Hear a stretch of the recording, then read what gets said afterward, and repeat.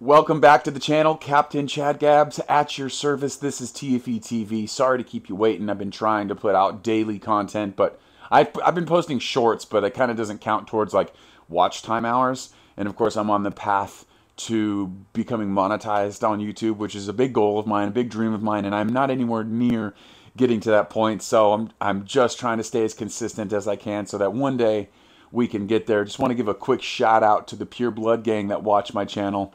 Okay, you probably know what that is. You guys see those uh you guys see those freaking profile pictures, you know, of people announcing that they got the jizz nerb? well, this was my rebuttal to that. I don't know if you could read that. I don't know if it's backwards, but it's like I got my dirt dirt dirt and I'm like, "Well, guess what I didn't get?" Guys, I didn't have anything particularly planned for this video, so I thought maybe, hey pig, come here. I thought maybe I'd talk a little bit about how I got my dog and you know, she's the reason that you're even watching this video right now and I don't think I've ever quite made like a formal video talking about you know how I got her and and and a little bit of the journey and the process in between time. Um Hi. I think she was just asking for a smooch. I'm not exactly sure what she's doing right now. She's kind of just giving me the eye. Do you, is it the I love you I? Like it is because you love your daddy?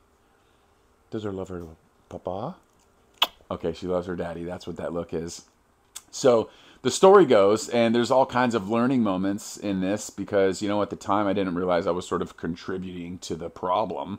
You know, because if you're like, you know, if you're buying puppies off Craigslist and it comes from like a backyard breeder, if you don't know what a backyard breeder is, that's just somebody that is breeding their mutts, you know, not looking to, you know, backyard breeder is not looking to like better the breed or nothing. They're looking to make money. Money is like the number one thing on the on the priority list. It's it's somebody putting out like, you know, I wouldn't say she's a bad product, but it's somebody that's not really, you know, specifically breeding to like better the breed. This is she's a pit mix. There's a five thousand. There's a million pit mixes out there that, you know, aren't necessarily genetically sound. Now, we got really lucky with Rosie. She's an unbelievable dog. As a matter of fact, the story goes, I use her for my demo. I use her, um, matter of fact, I just used her today, and I've used her a thousand times before in reference to, you know, introducing her to new dogs, dogs that need a good positive experience, dogs, dogs that need to be checked sometimes.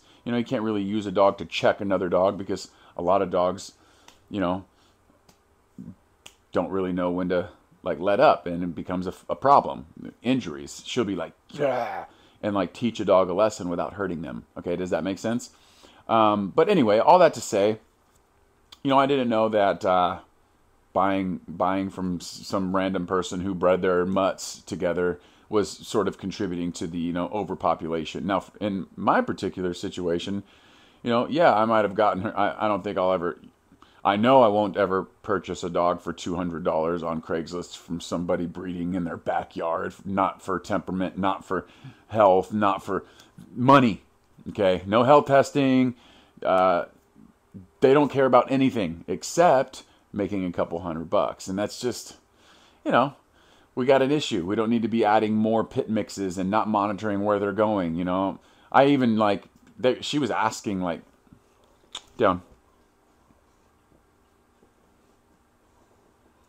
She was asking for more than I gave her. I'm gonna let Rosie chill. She was asking for more than I gave her. It's like a real breeder putting out a good product is not gonna like haggle.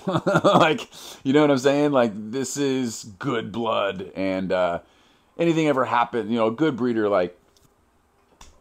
If if I were to hit up the person I got her from and be like, "Hey, I'm not happy," she'd be like, "Shit out of luck, your problem." A good breeder will take the dog back. Does that make sense? So like there's a big difference between the two there. Amongst a bunch of other things. I don't really want to get into the specifics, but I kind of have uh, to a, a, small degree. Um, difference between backyard breeders and ethical breeders could probably make a whole video on that. But uh, I wouldn't change it for the world, you know. This dog changed my life, you know, significantly. She came into my life right at the point that I retired from professional baseball and I was like having a, an identity crisis and I really needed something to be pumped up about because every day at that point was just a big drag. You know, I don't want to be, you know, tell you this sob story, but like, you know, you're looking for purpose, you're looking for identity when you just got done losing all of that. You know, kind of in a bad space. I won't say I was ever like depressed or anything like that because I found joy in whatever I could. As a matter of fact, I had a girlfriend at the time that I got her with, and um, yeah, I was at like a nice little happy space at that point. But I was working construction, and uh, I just needed something to like light me back up. You know, I wasn't really fully happy, um, and Rosie kind of filled that void for me. And, you know, at the time, obviously, I didn't know what I was doing at all. I had never really had my own dog before. So Rosie was the dog that really taught me uh, in all the spaces that I was uh, insufficient. I was coming up short. I didn't know what I was doing. I didn't crate train her. She was ruining my apartment. I was, uh, I wasn't training her. You know, all the things that I know now, I wish I knew then, but I wouldn't have figured those things out without, you know, making all the mistakes first. And I think that's a really important thing to think about if you're also you know, at that stage with your dog where you may you feel like you don't really have all the answers, you feel like you might be messing up. I think the important thing is um, identifying that and just starting to be proactive and, and doing something um, to, to help that out because what happens is is life just ends up getting a lot better together when you guys have like a curriculum, when you have some routine, when you guys are on the same page and when you guys have good communication.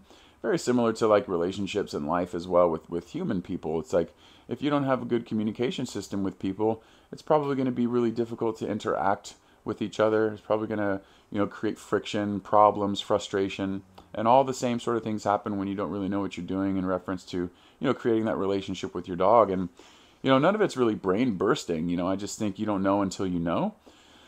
And then when you start to learn, you know, all the things that you were doing wrong, you're like, why didn't I think of that? Very practical information. I think if you're going to a good dog trainer, they're going to break everything down for you in a very simple way because you're just a pet dog owner looking to create a better foundation for your relationship with your dog. And that doesn't really entail a whole lot of brain busting things. I think the most important thing to think about is if you change the way you think about things, you're going to change the way you live. And that goes for, you know, a multitude of things in life. You know, change the way you think about you know, taking care of yourself and what's important in, in regards to that. Start going to the gym, start changing the way you think in terms of what you're eating and all these things. Your life is going to uh, improve exponentially. And that's exactly what happens with you and your dog once you start to actually incorporate a rule set, some boundaries, some structure. You understand, you know, the patterns and the associations and all the things that, you know, how to teach your dog and like how they learn. And just through that process, your relationship improves because you're spending now, instead of just spending aimless time, your dog learning all these really bad habits and bad behaviors right underneath your nose, you're now spending the quality, productive time together learning all the good things, the pre- pre- preventing the dog from you know continuing in their bad habits and all the things that you end up getting really frustrated by. And this is the process that I went with went through with her that really, you know, and of course, you know, I have to press rewind a little bit. Like, I didn't know all of that until I met Kyla, my wife. You know, I have my wife to credit for that because she was a dog trainer when I met her. And she was the one that really pointed out, dude, like this, this, this, this, and this. And that's like what gave me the motivation and gave me the inspiration. And it really, that was the thing that I sort of latched onto, you know, when I needed it, when I needed something the most, you know. Um, I was really searching for that thing that I could be excited about because at that point I didn't really have anything to be excited about. So when I started to see these results with her, I became obsessed. And this is when I this is something that I preach to my clients and anybody that's considering to come uh, for my training program. You're not going to get anywhere special unless you really become obsessed and committed and dedicated to get these things. You know, because there's no substitution for the amount of repetition and effort that needs to be put forth in order to get there. You know, you can't just like wake up one day and say, hey, you know, I want to do some training today and then put the dog on the shelf for, you know, a week and then go back to it. Like it's an everyday effort. It's an everyday effort.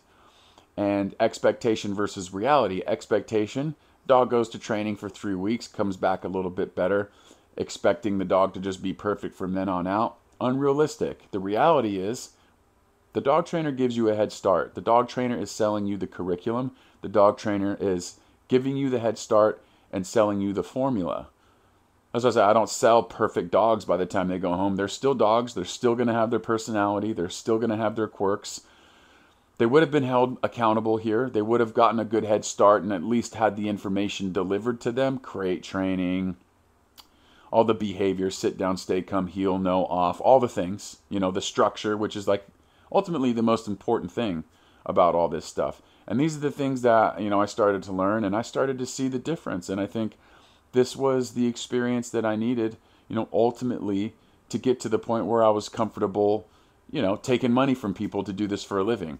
Now, of course, as soon as I saw what I could do with Rosie, I didn't just say, hey, I'm a dog trainer now. I practiced on all sorts of different dogs, different behaviors, started pulling dogs out of the shelter, kind of like I'm about to go do again tomorrow for like, you know, the thousandth time. But that was put on the back burner for a long time while I got my business going, but I just kind of have that in my heart to do that. So we are going to be doing that. If you guys want to watch that, just tap in, you know, subscribe to the channel if you're still watching at this point, because um, that's going down tomorrow. I'm going to go get a, a, a Dutch Shepherd out of there and see if we can't rehab him back to what he should be. But anyway, yeah, Rosie changed my life, man. She changed my life. She gave me purpose and she gave me a reason to, to have my eyes lit up and something to work towards, you know. And um, here we are. You know, I would never have imagined that she would be the face of a company um, that does, you know, we do, we do. I don't want to get into brass taxes, but we do well now, you know. And um, never in a million years, when I met Kyla, my wife, who introduced me to all this stuff, I didn't. I I could I could hand on a Bible tell you that I didn't realize that dog training was a profession. You know, I didn't I didn't know people train dogs you know, but it's um, the industry is getting bigger and bigger, and you know, I pride myself in being, you know, one of the best to do it. You know, and and what what what determines the best?